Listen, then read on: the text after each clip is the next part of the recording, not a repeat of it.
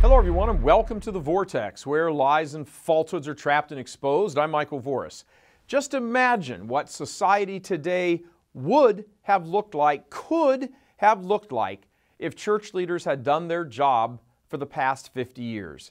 Had a vigorous defense been put up against the evil of contraception back in the 60s, even before the 1960s. If the American hierarchy would have fought tooth and nail against no fault divorce back in the day and against Catholic politicians who supported it, would have flat out excommunicated most of the Kennedy clan when there was still something fearful and consequential about being excommunicated. Imagine if the seminaries would have been properly patrolled and monitored in the 1940s and 50s to screen out men who were there for a hundred other reasons other than love of souls. What if the catechetical garbage flowing out of Catholic publishers would have been slam dunked before it ever got in front of the eyes of a Catholic student? Or if women religious orders would have been purged of feminazi lesbians just waiting their turn to get revenge on their male masters?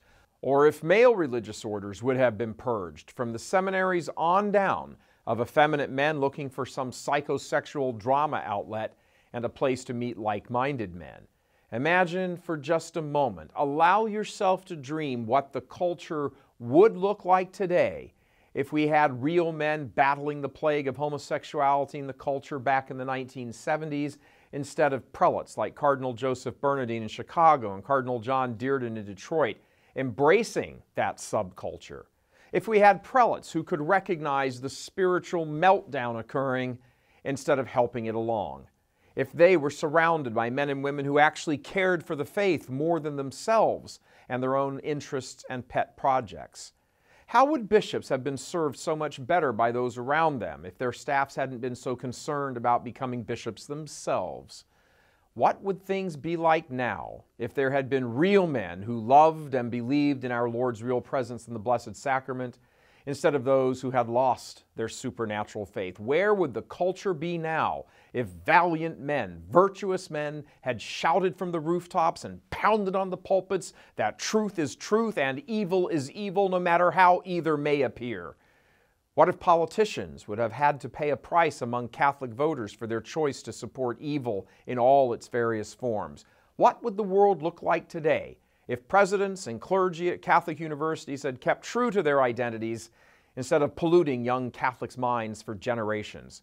How incredible, how far removed from the darkness would our families and loved ones be now, if only. If only.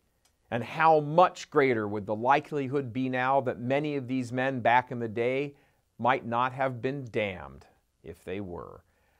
Well, moving forward, Catholics today, you and I have been given a world drowning in evil because of Catholics of yesteryear and the men they trained to run the show today. The question is, therefore, look into your crystal ball down the road and ask yourself, what will Catholics of the next generations say about me and how I acted today in the name of the church? And don't forget, by the time the future rolls around and they ask that question of us, our blessed Lord will have already answered it for us. And the answer will be either heaven or hell. God love you.